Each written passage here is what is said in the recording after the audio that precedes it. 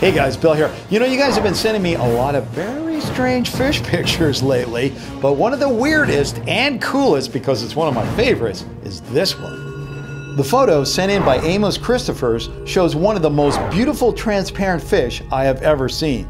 The caption said it was caught near New Zealand. But is this picture for real? Or are we just looking at another big, fat, watery fake?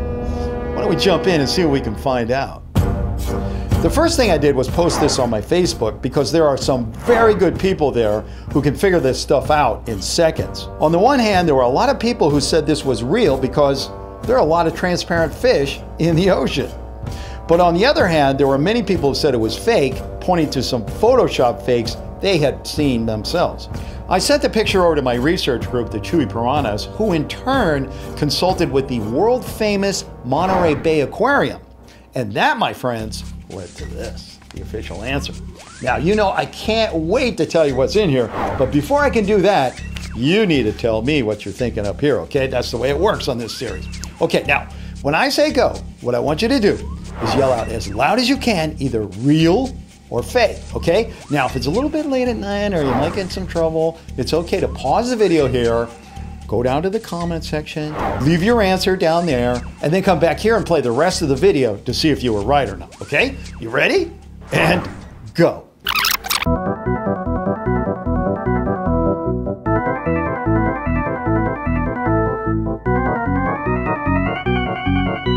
Okay, did you do it? Good, because in just a few seconds, we're going to open up this envelope so I can tell you what the official answer is. But first, I've got some stuff that was so crazy this week, you know, I just got to tell you about it. This one called Tiger Rabbit was sent in by Erin Griffin, who wanted to know if it was real or not. Erin, I don't know how to break it to you gently, so I'm just going to say it.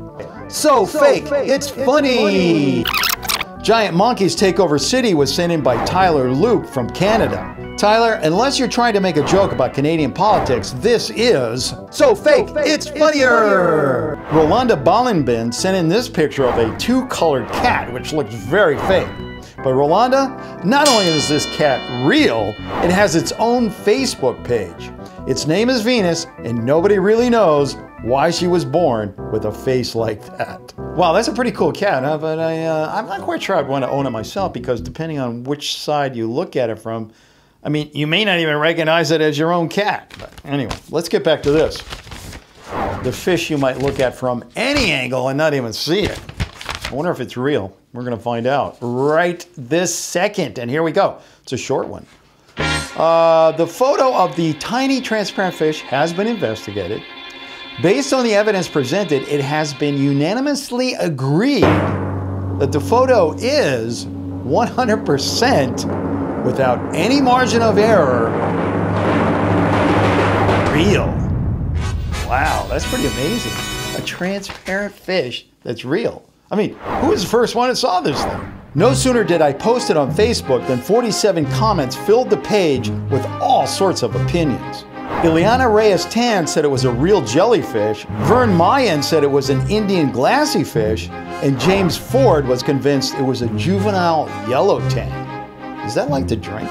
Gradually, a consensus developed around the notion that whatever this is, it's a juvenile. As reader Von Bonson pointed out, at a younger stage, many marine animals are transparent to help them avoid predators. That makes sense to me. Gordon Park was the first one to identify the creature as a juvenile surgeonfish. As it turns out, these fish grow up to be a beautiful blue color and very popular among aquarium owners.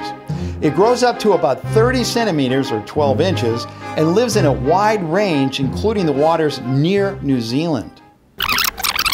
Okay, well that's all the time I have for this video. I want to thank Amos for sending in that amazing photo. I also want to thank the Chewy Piranhas for their great research work, as well as the Monterey Bay Aquarium for helping us solve this little riddle.